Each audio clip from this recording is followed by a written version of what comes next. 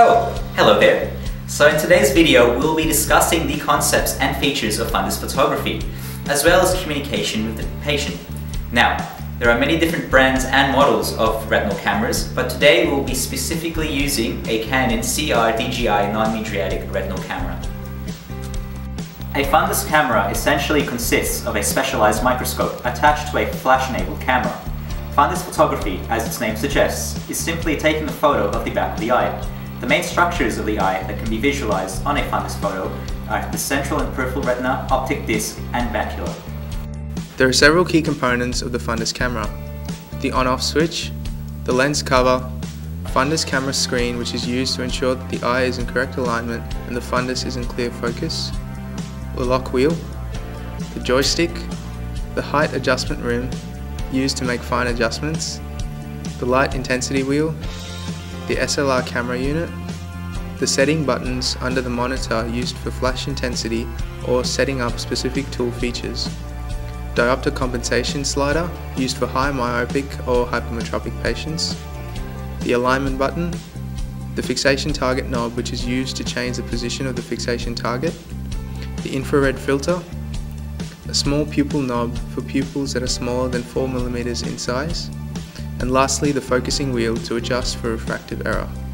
Setting up the patient and informing them about the test. Hi, how are you? That's good. So uh, my name is John. I'll be your orthoptist for today. So we'll just be taking a couple of photos of your retina, just the back of your eye, just using this device here. Um, it's pretty quick and simple procedure. It'll only take a couple of minutes and we won't need to use any eye drops or anything like that. Okay, but will it be painful? Uh, no, it won't be painful. There'll just be a flash like um, with a camera and I'll let you know when that flash is coming so you can prepare yourself for it. Before setting up the patient, use an alcohol wipe to clean the chin rest and forehead bar to maintain hygiene. Yes, so before we get started, I'll just quickly clean this up for you, just for hygiene purposes.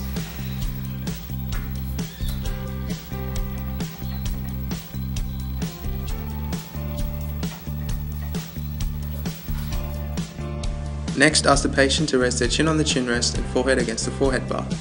Adjust the height of the table appropriately, paying close attention to patient comfort. Alright, so do you mind just taking your glasses off for me? And just putting them on the table. Alright, cool. So now I just need you to put your chin on the chin rest just here and head up against the headrest. Alright, so is that comfortable or is it too high or too low for you? Mm, it's a bit too high. A bit too high? Alright, I'll just, is that better? Adjust the height of the chin rest so that the patient's eye is aligned with the white mark on the bar of the chin rest. Fundus photos should preferably be taken in dim conditions, but for the purpose of this video, we'll be taking it under normal room light. So, we'll just be doing your uh, right eye first. So, do you see an orange light in front of you? Yeah. So just keep looking at that light, and I'll let you know when you need to do anything else. Firstly, we align the circle on the screen with the patient's iris and pupil. Move the joystick forward and backwards and rotate the height adjustment wheel until the upper and lower sections of the pupil meet and ensure that the three white dots are in position. Next we press the alignment button and the patient's fundus should appear on the screen. Instruct the patient to look at the green light slash fixation target. Alright, now do you see a green light? Yep, so keep looking at that green light now.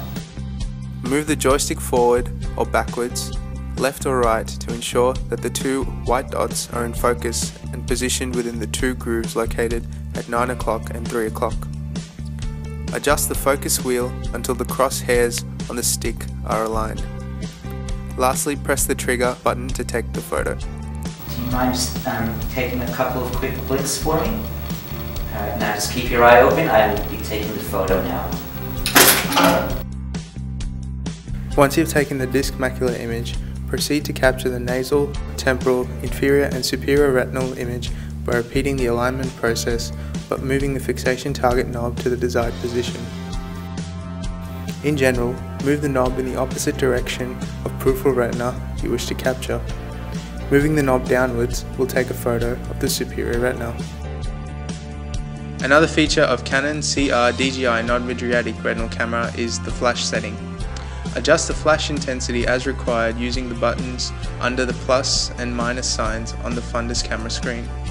F0 is the lowest flash setting while f14 is the highest flash setting. Alright, very good. Results and interpretation. In certain diseases, it is important that we do not consider the disc macular image in isolation. Superior, inferior, nasal, and temporal fundus images have to be taken as well to give an overview of the whole retina and fundus. In this case, this patient has a particularly waxy optic disc. Development of bone spicule pigmentation at the peripheral retina can also be observed. Although not as conspicuous as the other signs, attenuation of the blood vessels in the retina can also be seen. These are the classic signs of a patient with retinitis pigmentosa. Now we'll present some examples of badly captured fundus photos. We will also give some advice on how to avoid these common mistakes. In this case, we can see that the patient has blinked when the fundus photo was taken, resulting in a blurred and incomplete image of the fundus. It is imperative to instruct the patient not to blink when the fundus photo is taken. The patient may blink normally at any other time to prevent the excessive drying of the eye. A dry eye may also lead to a blurred fundus photo. When dry eye is suspected, Ask the patient to blink several times to lubricate the eye before continuing. This depicts an incorrectly taken fundus photo that is out of focus and somewhat obscured. The orthoptist taking the fundus photo has to be extremely careful and meticulous in ensuring proper alignment and that the picture of the fundus is in clear focus before capturing the image. Make sure the three white dots are in clear focus and aligned with the pupil before pressing the alignment button. Now we'll look at the pros and cons of fundus photography. The pros does not require pupil dilation, is easy to use and does not require a skilled user. Captured images can be examined by a specialist at another location or time. Provides photo documentation for future reference. Can recreate considerably large areas of the fundus than what we can see at any one time with handheld ophthalmoscopes. Cons. High cost of equipment, not portable, not the gold standard, major limitation of fundus photography is that it obtains a 2D representation of the 3D semi-transparent retinal tissue projected onto the imaging plane. Media opacities can affect quality and clarity of the image. It is important to note that fundus photography is not the gold standard for fundus examination and should not be used as a basis for diagnosis. Instead, it is merely used to supplement other ocular examinations, such as binocular indirect ophthalmoscopy, which are more reliable in diagnosing uh, retinal disorders. It is also a useful tool in objectively measuring torsion, as well as documenting and recording progression of diseases over time.